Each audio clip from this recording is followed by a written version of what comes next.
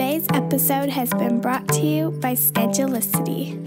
Welcome to episode 91 of the Connected Yoga Teacher podcast.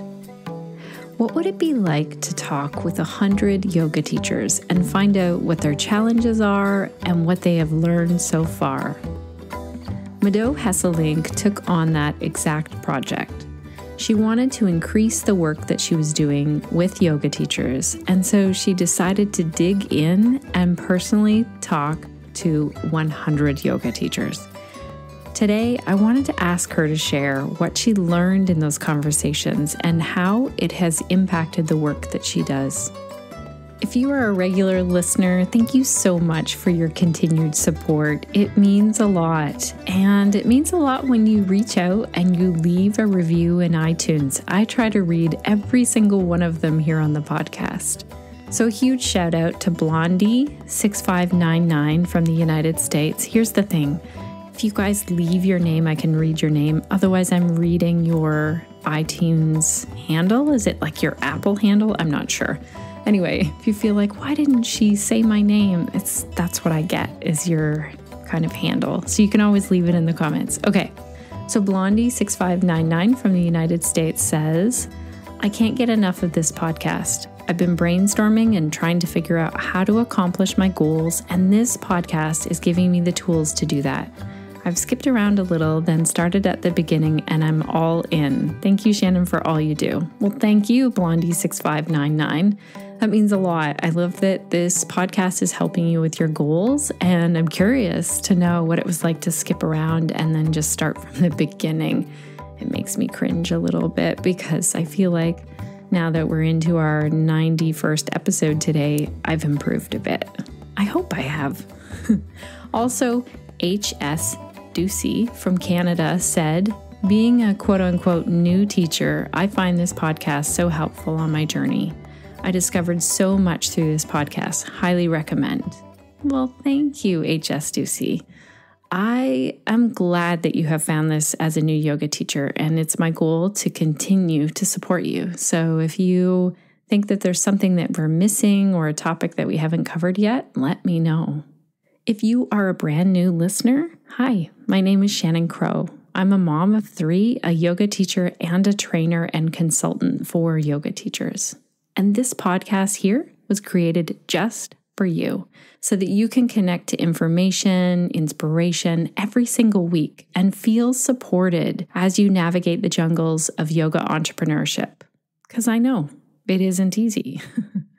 Have you checked out our show notes yet? Kira Sloan, who was on a previous episode, sent me an email to say that she was impressed by how complete our show notes are. She loved that we linked to everything she talked about in the interview, and I need to give a shout out of thanks to Crunch for this work. She is the one creating our show notes, and you can see how in depth they are. If you go to say for instance this episode is the connectedyogateacher.com slash 91 so you just have to know the episode number and it's the connectedyogateacher.com slash whatever number of episode there are other resources on our website as well, so check those out. We have online trainings and workshops, articles, and a map. Have you seen the map yet where you can add your contact information and see what yoga teachers are in your area? I think it is super cool. Sometimes, if we're traveling, it's nice if we can check out a yoga class with someone who is connected to a community that we know, like the Connected Yoga Teacher community. So if you do connect with someone in person, tell us about it. Tag us in the photo. I love to see people connecting in real life. Before I share more, let's hear from Schedulicity. Hello, connected yoga teachers. This is Lisa with the Schedulicity Hot Tip of the Week. Hi, I'm Lisa Suba with Renew Yoga and Massage. I've been a massage therapist, yoga teacher for six years and um, have used Schedulicity from day one of my practice.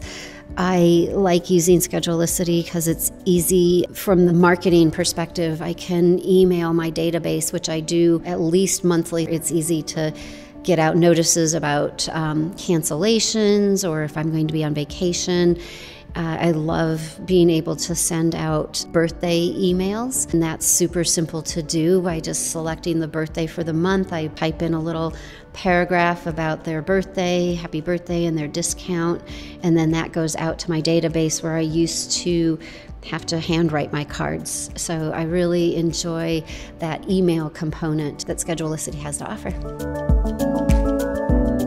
Thank you to our entire Schedulicity team. Thank you for your support. I know you guys are busy doing updates and adding things to our scheduling software, and it is so helpful. Alrighty, let's dive in and meet our guest today. Mado has been teaching yoga since 2005 and training yoga teachers since 2010. She is the creator of Yoga Teacher Resource and teaches at yoga teacher trainings around the southeastern United States. Mado is a lighthearted, creative, and very informed yoga teacher who is passionate about anatomy and many other complementary movement modalities. Welcome to the Connected Yoga Teacher Podcast, Mado. It's great to have you here today. Thanks, Shannon.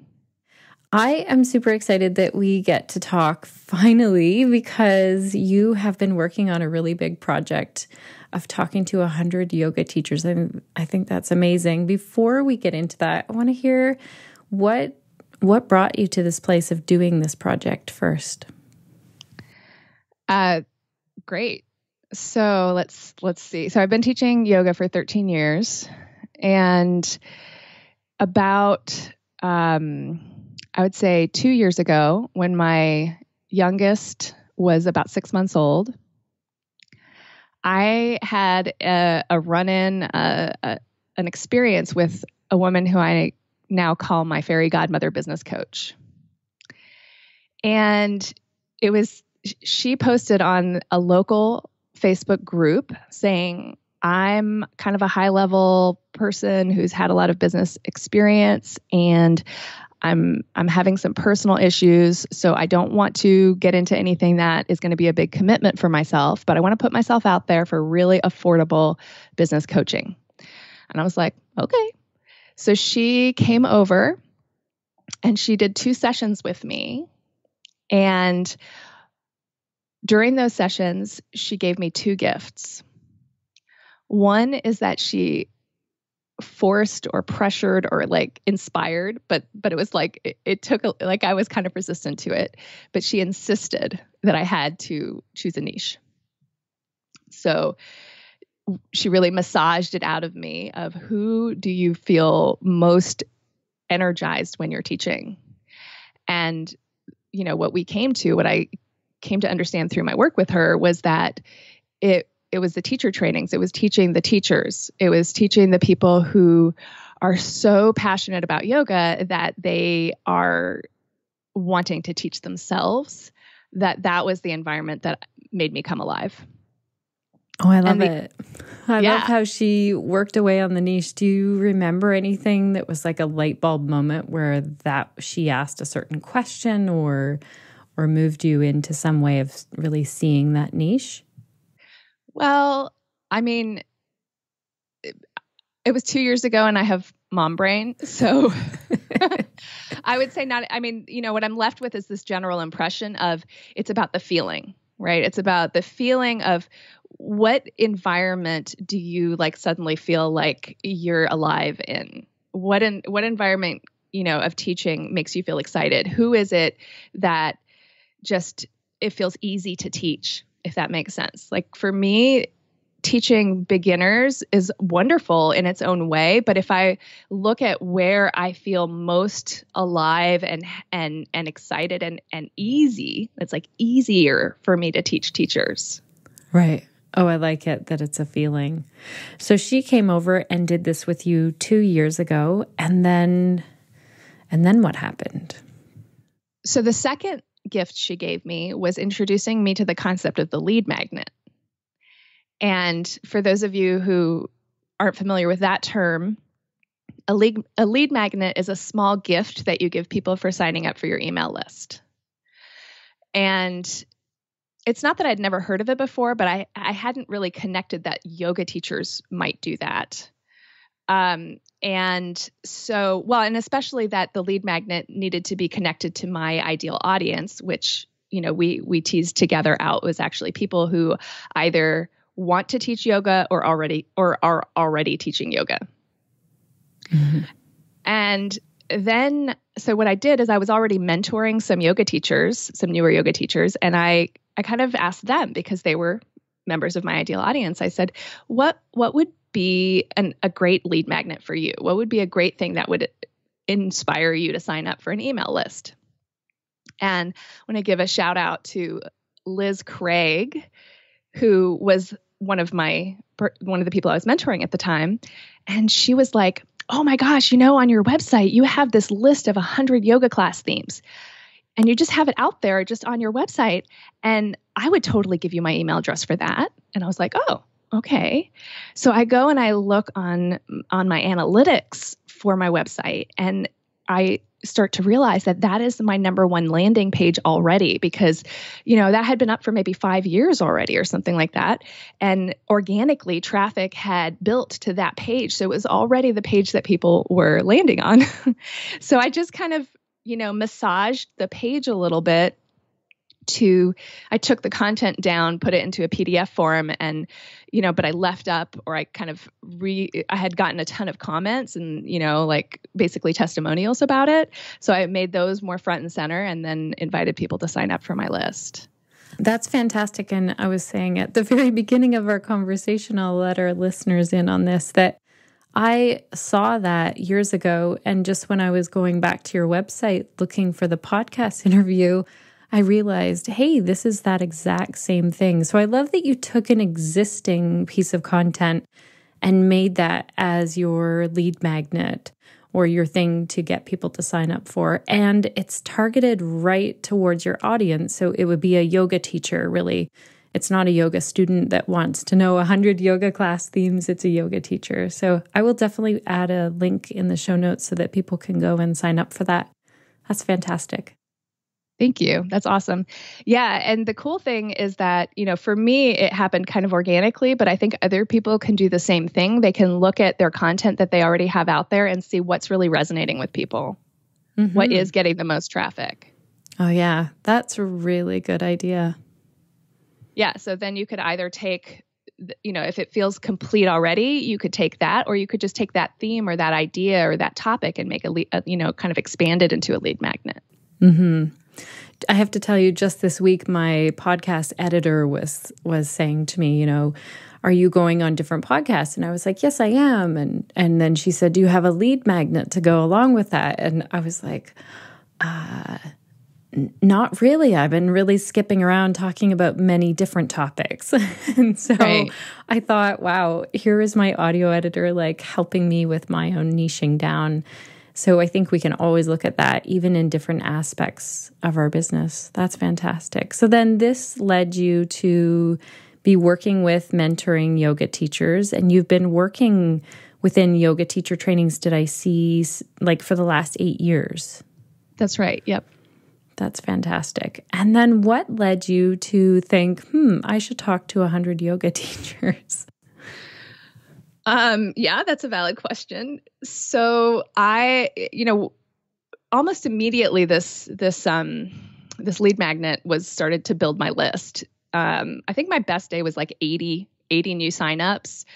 Um, because like I think there was you know like moments where it went viral, but at the same time in my personal life I was you know, managing being, a, you know, again, a new mom. I have a 15 year old biological child and a, and a stepchild who's 20 also, but I was kind of, you know, going backwards and I had this, this infant and I was also building a house. And so it was a little bit of a time of backing away from building my business and just kind of sustaining for a while. But meanwhile, in the background, this lead magnet was working for me and, and building this list. And just this past January was the moment when I started to peek my head above the trees to to be like, okay, I think I'm settled. We're we're now in our new house, it, and um, yeah, it feel it felt like um, a transition time of sorts, and I felt ready to to make a, a plan for going forward. and but I didn't know what that was. It wasn't clear to me where to head next. And so that's why I decided to talk to other yoga teachers. And I didn't want to make it just talking to newer teachers or, you know, just, I just wanted to get a sense of what is out there. What are the concerns? What are the dreams? What's the, what's the environment, the context that people are teaching in to help me figure out how I can be of service. I love that. What made you pick the number 100? That seems like so many phone calls. um, you know, honestly, it was it was just a number that was thrown out there by somebody else. Somebody else had done, you know, in a different industry had done 100. Um, and I didn't even connect it to my 100 yoga class themes originally, but now I'm like, hey, there's there's some symmetry there. there is. And so when you called these yoga teachers, first of all, how did you get the word out there and how did you choose which teachers you would you would connect with? Well, actually it was mostly just that email list. So by the time I started this um, this pr- uh, project, I had about 3,500 people, 3,500 yoga teachers on that email list. And so I I mostly just put it out to that list. I did put some. I have a private Facebook group, and so I put it out there. Um, and I think you were gracious enough to let me put it on your Facebook group also. So I got a few people from your Facebook group. Mm-hmm. Um, but yeah, that was it. It was it was I would say ninety percent from my email list. That's exciting. And I like that you said that you were, you know, doing the mom thing, building a house, all of the busy things of life, but still your lead magnet was drawing those email addresses so that you did have an audience to email to. That's fantastic. Yeah, that was really cool. And I will say one thing, one other thing that happened kind of towards the end of the project that I didn't anticipate and I wish I had thought of kind of capitalizing on this dynamic earlier. But one person that I spoke with started to forward my email to her friends. And so that her name was Megan Stegman. She's in Chicago. If you're listening, hi Megan, thank you for doing that. um, so she so I ended up with like five people in the Chicago area, and then one of them forwarded to some people in Denver. So then I ended up with like five people in Denver. And so if I had, if I had, if I were to do this over, I'd probably ask the people that I had a really nice conversation with. All of the conversations were wonderful in their own way, but some people were, you know, some some of them just had a little bit more energy, more connection to them, and I would have asked those people to um, to forward it to to let their friends know because I didn't that didn't occur to me, but it you know then the people who um, who signed up because their friend told them to they like they were already more open. There were a few people who signed up who were a little bit like, "So, what are you doing this for?" Like kind of I don't know, maybe feeling like I might try to sell them something or I don't know what it was. Um, but not the people who whose friends had forwarded to them. Right. Oh, that makes so much sense. Really, we trust the the testimonials from our friends or the, you know, if they say, "Hey, I bought this thing and it was great," or "Hey, I signed up for this," or "I read this book," we're more apt to read it when our friends suggest it. So, word of mouth is a great way to go even for something like this. And so, how did you pick out the questions that you would ask these yoga teachers and do you want to share some of the answers that were surprising to you or um, really made you think or or ones that uh, you applied into your own yoga practice or yoga teaching? Yeah so i when when i started out i had some basic questions and i did create a spreadsheet that i you know kept track of all the answers in.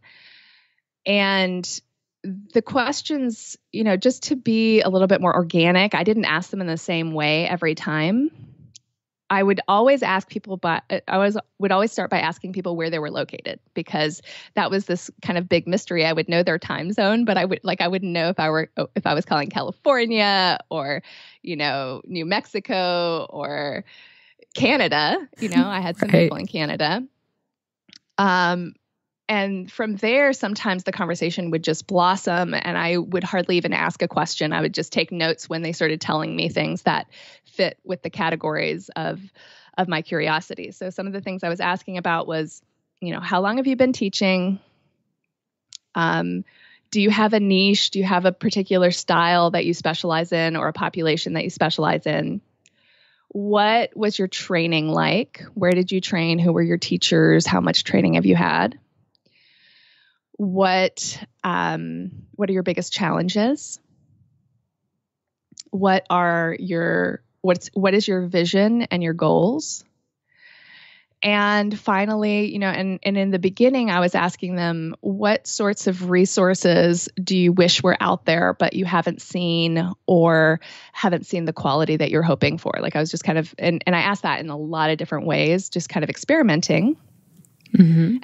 And then about a third of the way through the project, I had I had in my mind for many years felt like I wanted to start a podcast, but I I didn't have a lot of clarity around how to do that or why I would do it. And so but but talking to these teachers really inspired me because I started to see these threads, these lines of of overlap in their challenges and so that made me really inspired to help them so i i actually launched a podcast partway through this conversation which you have been a guest on yes and I uh, would love to invite people to come and check out that episode with Shannon. I can't even remember the name of the episode now. Is um, let me look it up here. Community over competition was kind of the general yeah. thread.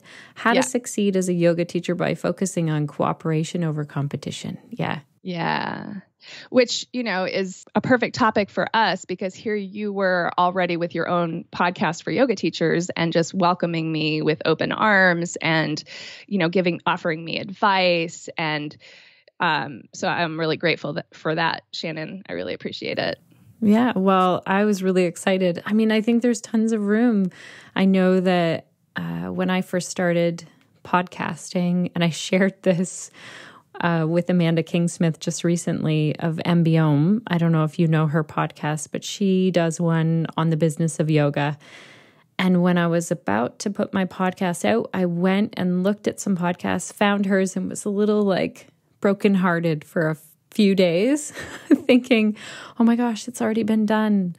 But then I got talking with Amanda and listening more to her episode, and I realized, you know what, we're both going to have different ways that we have a podcast and and there's lots of room for it there are de- it's limited for yoga teachers to find podcasts that really help them with their business so i was excited to see yours yeah and it's great um, it's great also uh, I'll for sure share that episode in the show notes because I know that there's a different element to when you're interviewed on someone else's podcast. They're asking all of the questions. So, yeah. I'm happy that we could trade then today. Plus, I yeah. have a, a, I have a hundred questions about your hundred. so, what felt like it was the most surprising thing that you were hearing in that in those hundred con- conversations, or what really stuck with you? Wow. Okay, there's a lot, um, but um, you you talked about surprising, so I'm going to start with that. There was a few things that surprised me, and they kind of they kind of go into two themes. One thing that surprised me is that the happiest yoga teachers that I spoke with are not trying to make a living teaching. Or they have found some creative way to to offer their teaching that isn't the expected model of running from studio to studio teaching um, you know, a dozen classes a week. The people that I talk to who are doing that, they are really clear that that's not sustainable and they're looking for a better way. Um, you know, some of the happiest people that I spoke with are the like the 70 somethings who are retired and they're purely teaching yoga for the joy of sharing yoga. And I and I spoke with quite a few of those. That um, I I think that's amazing in that I think that someone who's in their 70s would have a lot so much life wisdom to add to the teachings of yoga. Yeah, and one of the life wisdoms is uh, I'm I'm not interested in striving to be famous, or I'm not interested in striving to to make this a business. I I just want to share yoga. I recorded a podcast already about the difference between teaching yoga full time and part time, and how teaching yoga part time, either for spending money or just you know for seva, is a much cleaner, clearer path to support your own yoga practice. And but for me, that the inherent conflicts and the and the and the murkiness of being an entrepreneur in the yoga space is actually really exciting and and keeps me more engaged. I am not one for I'm I, like for my personality the clean clear path is not w- what makes me come alive. So you know, but I, I think it's a conversation that we don't have enough as yoga teachers. Like, what's the priority here? Is it your practice? Is it your your personal yoga practice? Well, if so, maybe being a yoga entrepreneur might not be the path for you. Um, but if you are like me and you you don't like to take the easy path, if the rockier path is more like that just feels more in my nature it it it actually does feed me more. It feeds my yoga more to be challenged in that way. Does that make sense? Yeah and you just brought up a really great point. I think what i didn't know as a as a new yoga teacher is i didn't understand how much my own personal practice would suffer once i became a yoga teacher. And i don't know if that was just me or it was just so much harder to be i couldn't be just in the student brain anymore. I couldn't i i was thinking about how a class was put together and if i could remember poses. And you're not alone. That is a huge theme that i that that came up again and again and again in these 100 conversations this is one of the things that yoga teachers around the world are thinking about and and and exploring and trying to solve or, or i don't know if there's a solution for it but we're interfacing with that with that conflict and that challenge mm-hmm. I, the only solution that i can think of is um, we talked to Kima Stark in an episode called Too Many Yoga Teachers. It's actually the I think it's right near the top of our most listened to episodes. And in that, what I the one gem that I gained was that if you want to take a yoga teacher training to strengthen your own personal practice, look for one that doesn't teach you how to teach, but instead really uh, goes deeper into a yoga teacher training. And there are a few out there, but not many. See, I think that's an awesome idea and just knowing myself, I learn best through teaching. So right. if I were to take a training that didn't you know that didn't have the context of teaching that didn't have me practice teaching i wouldn't learn as much and i wouldn't be as engaged. Right. It's so true. It's not a clear cut thing. Oh you're right because that's a big part of any teacher training that i do as well so that that felt like to you the most surprising. Were there any other surprising points? Uh, some some surprising points, and maybe I shouldn't be surprised, but I live in Asheville, North Carolina, which is a huge yoga yoga mecca, and we have tons of high quality yoga here. But a lot of people are not um, pleased with their yoga teacher training once they graduate. A lot of people feel kind of not ripped off exactly, but that the that the training didn't deliver what was promised. And in a similar vein, I think these may be connected. I was also surprised by how many people who have only been teaching one or two or maybe three years are already teaching yoga teacher trainings or have like this really clear um, sense that this is that that's their next step that they want to teach yoga teacher trainings. I remember when I first graduated, it, it felt like there was um, more expectation that you needed to pay your dues as a teacher and and I don't mean pay your dues as in like some kind of weird hierarchy.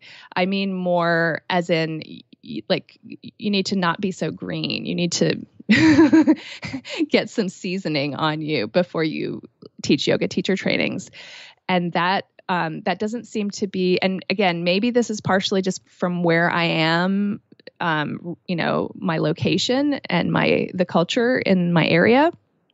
But I was surprised by those two things. What would you suggest to someone who's looking at taking a 200 hour before they take it? What what would they do so that they at the end they feel like, oh yeah, that was the right one? Um, don't choose it because of its location or its price. Aha. That's really good advice because you're like, oh, that one's right down the street. It'll be that. That'll be the easiest for me. Right. Mm. Really, um, take take classes with the teachers, especially the lead teachers, and if you really want to do your research, talk to people who've graduated. Yeah. I would also say, you know, even though one day, yeah, I would say, you know, be cautious of a teacher training that hasn't been around very long. Okay. I think that's a great point as well. That someone, and you could ask, you know, how long have you been teaching and how many trainings have you led and, and how can I talk to some of your previous grads? I'm always happy to, to pass a few names along to someone or to say, like, here are people who have taken the training. Anything else that you found out while talking with these yoga teachers that impacted you as a yoga teacher?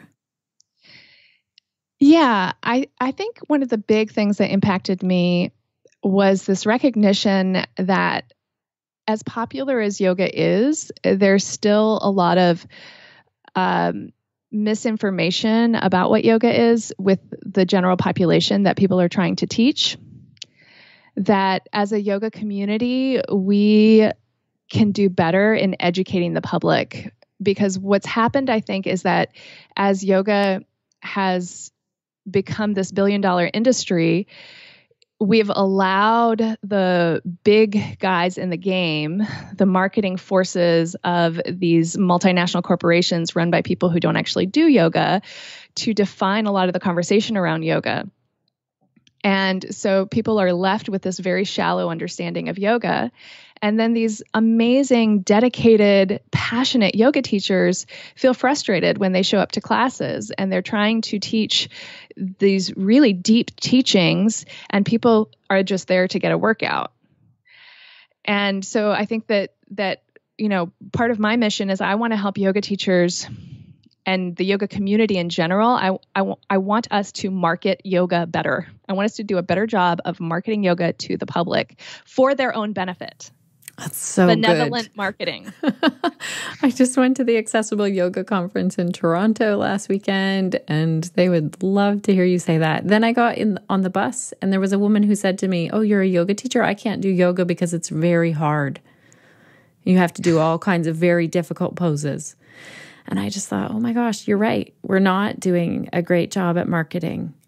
And there's lots of space. I think one piece of that which gets me really excited is often I hear from yoga teachers, "Oh well, I would I don't want to share videos because I'm too old or I'm too oh. large or I'm not bendy." And those are the videos that we need to be out there. Those are, or the photos or the the blog posts, you know, those are the those are the things that people need to see. You know, one of the conversations I had, that was a topic that came up. This woman was telling me, and this is a person that I have met personally. She's come to my yoga classes. And she was like, Well, I don't really look like a yoga a yoga teacher. And I was like, and she's gorgeous. Mm-hmm. I mean, mm-hmm. she's absolutely gorgeous. Not one thing wrong with her. She she describes herself as curvy. I think she looks just like a, a woman. You know, she I, she's not even. But this this disconnect between how we feel on the inside versus how others see us. And I was like, if you won't put yourself out there, like if you feel that way about yourself, think about the, the person who truly is larger than the average you know like you're she's still average right? She's not rail thin. She's not you know she's not below average but she's she's she's not a, a large person. Um you know i was like gosh we have to we we especially people who don't present as that hyper mobile like 20 something bendy tanned person those people really we need those people out there representing yoga so that people recognize themselves and are willing to to take a step towards us yeah it's so true so in terms of how we can do that better. Do you have some ideas on that? Wow, I didn't think that we were going to get into this. I, I, I'm not. I'm not there yet. I'm not sure yet. I want one of the things I want to do is I want to help yoga teachers create new and new business models that allow them to go deeper with their students um, you know and and sometimes it's similar to what you're doing where i know you teach um, series classes where people have to sign up in advance it's on a specific topic and you don't isn't the studio you teach at like a like a collaborative studio where there's not a studio owner? Am i right about this? So you run your own? There's a studio like there's someone who owns the building and now it's a rental space. And you're right it's a collaborative of yoga teachers. Uh, it, it's an amazing place to teach. And then also we have like my classes we have a group of students who sign up and they they really bond as a community because it's 11 weeks that they're together. That's how long my my session is. Right. So I mean, this is just kind of the infancy of my thought process around this, but I want to I want us as yoga teachers to set the expectations for our students that they're going to make a bigger commitment to yoga because they're going to get more from it if they do that. If they only dip their toes in and attend these random public classes whenever they have an extra minute, they're they're they're not going to get deep. They're going to scratch the surface. So we need to train them to make a bigger commitment. We need to help them understand the mental emotional and spiritual benefits of yoga which is easier to do when we're seeing them multiple times rather than just you know like randomly. Mm-hmm. and we need to train them to seek quality teachers in situations where in-depth training can occur Right. So I don't have all the answers to how we do this. I think there's multiple ways. I think it's got to be a grassroots movement where each individual teacher you know kind of does that whole process of figuring out who their best in a position to best serve, to best connect with, and then connecting with them maybe in a similar fashion to my 100 Conversations project where they're reaching out to people. It does not have to be 100, obviously. The benefit of doing a big project like what I did is that you get a you get more comfortable with the conversations and you also get a bigger sample size but you could definitely start with 5 or 10 or 20 and get to know like what your ideal students hopes and dreams and challenges are and you know figure out how that intersects with what you can offer them through yoga and then start talking about your yoga in that way this is a really good point because often, if we're going and we're showing up to teach our group class, you know, there our students are maybe talking with each other. Maybe they come up at the beginning of the class and they just tell us something small. But you're saying dig in and have some more conversations where you're researching, like, really, what are their needs? I feel like I I get to hear a lot of that when I do one on one with people. But you're right that in in the group class setting, uh, you know, I just get that form and and then it's it's halfway through or near the end of the session before they start telling me what's what's kind of really going on. Yeah, exactly. It's hard, you know, when people come up to you, when you wait for them to come up to you, they're going to give you a much more edited version partially because they don't want to bug you with their problems, you know, they're being respectful. But if you reach out to them and say, you know, especially if you say something like, You are, I, I, mean, I don't play favorites, but you're one of my favorite students. I love having you in class. I just want to figure out how to attract more people like you. Right. They're going to feel really good about that and and they're going to open up to you and you know, if you have a one-on-one more in-depth conversation, then you can learn a lot more about them than they they might not think it's relevant to you, but you know it's relevant. Mhm. Well, that's a really good point. And so, what other things did you learn in talking to all of these yoga teachers? Um, you know, this is this is not really new, but it's like a um, a deepening and a and a more more and more visceral understanding of how much yoga teachers care. We care so much, so deeply about our students and their well being and their growth.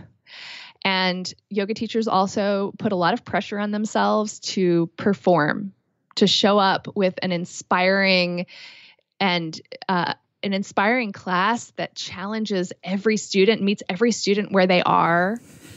in it, like in just the, you know what I'm saying? We put a lot of pressure on ourselves. One of the things that I feel a not an obligation, but kind of inspired to do with my podcast is to help yoga teachers kind of take off some of that burden because sometimes I think what we ask of ourselves isn't isn't possible and our students aren't expecting it of us. Right, this perfection. Like I'm going to show up and be perfect and and teach to everyone in this room. yeah, and I'm going to be inspiring every single time. Right. It sounds ridiculous when you say that, but I know what it feels like to plan to do that.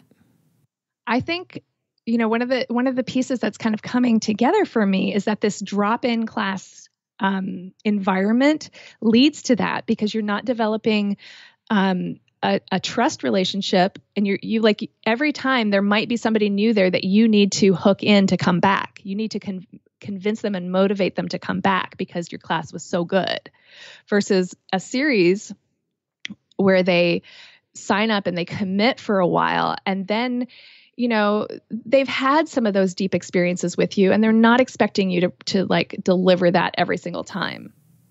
You're making me think of i signed up for a drumming circle. Uh, my kids and i signed up my two younger ones and it was kind of our night out and you're right, it never would have worked as a drop in. First of all, we would have gone the first night, learned a few things. Oh, that was fun.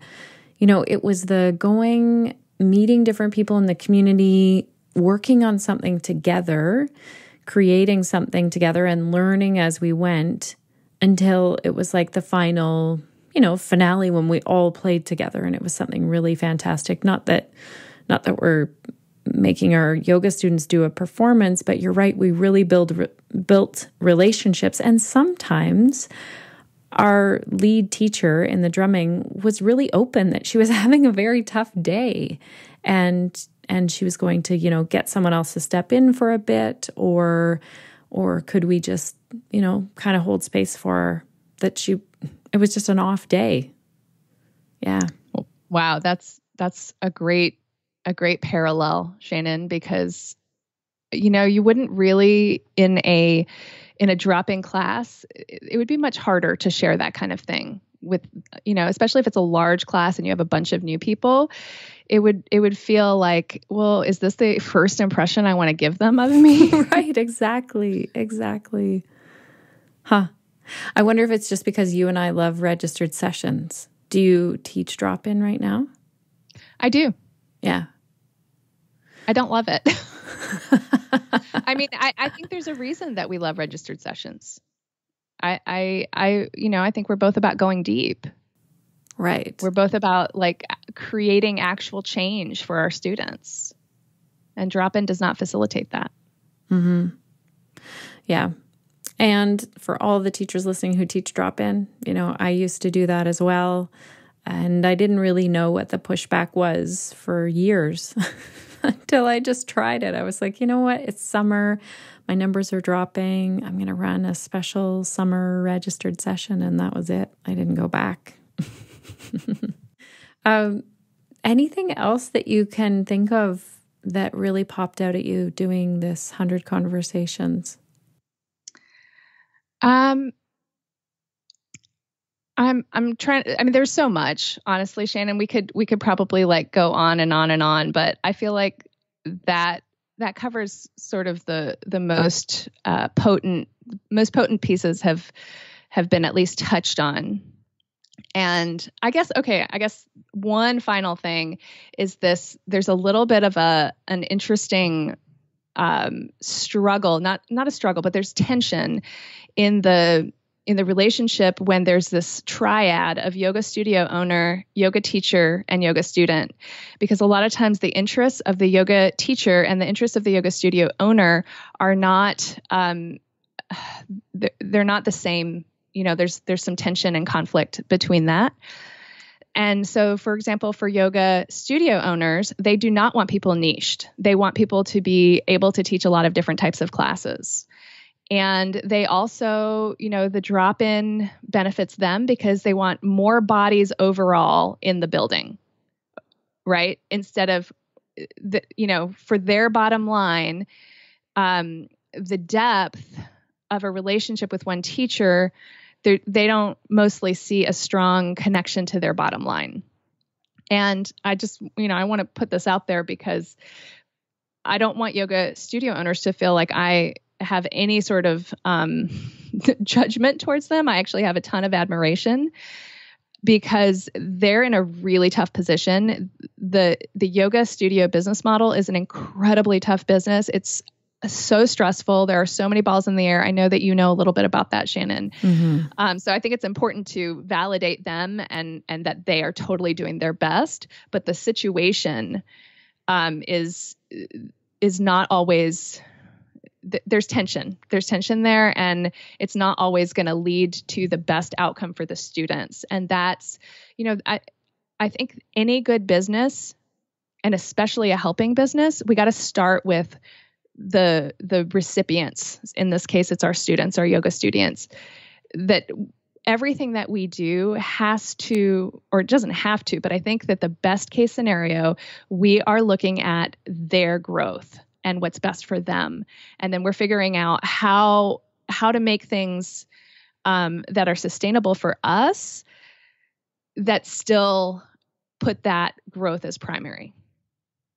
Right I like this perspective on it. Oftentimes, I think that we might be thinking, oh, what can my yoga student afford? What works with their schedule? What and you're saying, okay, let's look at their growth and what would really help and benefit our yoga students first. And I think then once they're seeing the benefit of it, they, you know, they they can see the value in it as well. I know a guy who doesn't have a car because he I mean this is just his value system, right? He does not have a car, he walks everywhere, he takes public transport, but he has a yoga studio membership. Oh yeah. For sure. Right? This is his priority. And we we all of us in our lives in our lives do this mostly kind of subconsciously, but we make money for what's important to us, what we really find valuable. Mhm. That's very very true.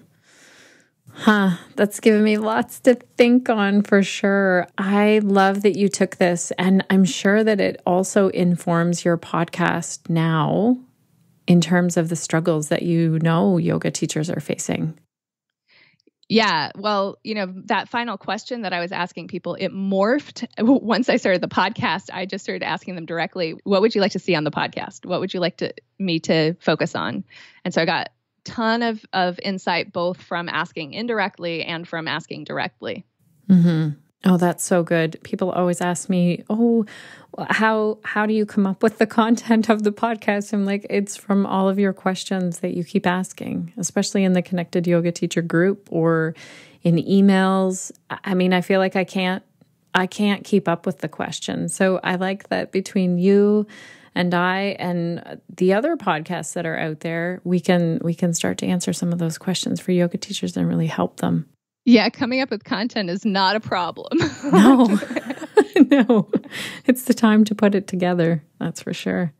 And that's how you know, I think, that you're in the right space mm-hmm. is when you don't mm-hmm. have any trouble coming up with content. When that's the least of your worries, then you know you're in the right place. Yeah.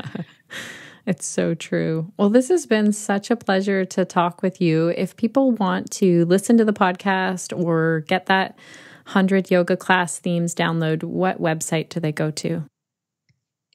Teachingyoga.net. Super simple. Just right. teachingyoga.net. We will put a link in the show notes. Thank you so much for your time today. This has been fantastic. Thank you so much, Shannon, for having me on. I really I had a blast and you're an amazing interviewer. Thank you. Alrighty, connected yoga teachers. How are you feeling now after hearing from Mado? Thank you so much, Mado, for taking on this huge project and then sharing that with us today. I want to know what is the one thing that really stuck with you after today's episode? What challenged you or made you think differently, or what might you try now that you heard this chat with Mado? One thing that Mado stressed is the importance of taking classes or workshops with a teacher before signing up for their yoga teacher training. This is amazing advice. along with also reaching out and talking with other people who have graduated from a teacher training with that person. And another key takeaway for me here was that we could all do a project like Mado if we're looking to create content that we want to offer to an audience and we want to increase that connection with our audience. So we need to be hearing from real people in some capacity to develop something that will connect with them. Let me share a personal example. In the Connected Yoga Teacher group, so many of you are asking amazing questions. And that is how I hear the struggles and the challenges that you are facing. And that is how I create the content that I have. That's how we come up with the podcast topics, courses, articles, all of our content is fueled by the one on one conversations that I have in that Facebook group and also weekly with yoga teachers. So I talk with yoga teachers every Thursday in consultation calls. As Mado and I said, there is really this huge vast ocean of content that we see when we're connected to yoga teachers, when we're talking to yoga teachers. So I want to flip that around a little bit here for those of you who your ideal audience is not a yoga teacher, if it's a yoga student. How can you do this as a yoga teacher? So take the same example. Maybe we can't talk with 100 yoga students, but say, for example, if you want to teach to beginner yoga students, then your people that you need to talk with probably have never done yoga before, but maybe they're interested in doing yoga. So, what would it look like if you plan to do maybe five conversations, maybe 10 conversations with people who are your ideal yoga student? I want to hear about that if you take that project on. And if you're wondering, well, how can I do that? You know what? A really simple thing is just to ask. So, you could put it out on Facebook, you can ask friends, you can say, hey, I'm looking to talk with five people who might even be reluctant to try yoga. Do you have a friend who's never done yoga, or do you have a friend who's dealing with this particular issue? Those are the people I want to talk with. And maybe you want to niche down and specialize, but you don't have the confidence yet to do so. Talking with people and asking them to share what they are facing or what their challenges are is another way that you can create the content for that ideal yoga retreat, workshop, class, so that it's created for that group of people. So, another example think of a really super busy new mom and she's you know, always taking care of kids. Let's talk to those new moms and say, you know, what do you need in a yoga class? Do you want to move around a lot or do you want to lay down or do you want a combination of both? Like, let's talk to enough new moms so that we can figure out what are their biggest struggles that they're facing. And if you want to get into the mindset of a new mom, I covered that last week in episode 90, where I went through what it felt like for me as a new mom uh, in terms of what our postnatal or baby and me classes, who that ideal student is, and what they're dealing with. Okay, connected yoga teachers, I want to know what actionable step could you take today with anything that caught your eye here today in our conversation with Mado. I would love to hear about it either in the show notes or in our Facebook group. And if you have any questions at all, make sure to post in there. If you'd like to work one on one with either Mado or myself, I will put links in the show notes. So Mado is teachingyoga.net slash coaching. And then mine is the connectedyogateacher.com slash consultations. But the links are there for you. So no need to worry and write those down really fast. If you want to meet up in person, well, this will be after I come out of winter hibernation. So we're getting right close to December. Our winters here up on the Bruce Peninsula in Ontario involves a lot of snow. So cross country skiing is really good, but then we also have closed roads and snow days. For example, last year there were 13 snow days, I think, for the kids. So I will not be traveling around in the winter. But I am coming out of hibernation for the Toronto Yoga Show. That's the first time that I'm really planning to get out there and see yoga teachers in person outside of my small community. And I'm actually really excited about that because I'll be there talking with yoga teachers. So let me know if you're going. It's March 29th to the 31st. That's in 2019 in Toronto, Ontario. Yes, that's in Canada. And also, I'm teaching an 85 hour Mama Nurture prenatal yoga teacher training in two locations. One is Bermuda from April 15th to 16th. And then the other one is in Meaford, Ontario, Canada, starting April 26th. And it goes April, May, and June. We go over three months with that one. I'm also teaching an in person yoga for pelvic health 20 hour yoga teacher training, but that's not until next November, 2019, November 2nd and 3rd in Meaford, Ontario. But I want to tell you because those spots fill up very quickly. Also, if you're like me and you like to hibernate, we have many online trainings and courses, so make sure to check them out. Today's episode is possible because we have an amazing team over here. Thank you, Samantha, Suzanne, and Crunch. Okay, connected yoga teachers, it's time for me to sign off. I want to know what will you be doing this week to stay connected to yourself, to your yoga practice, and to your community. Take care.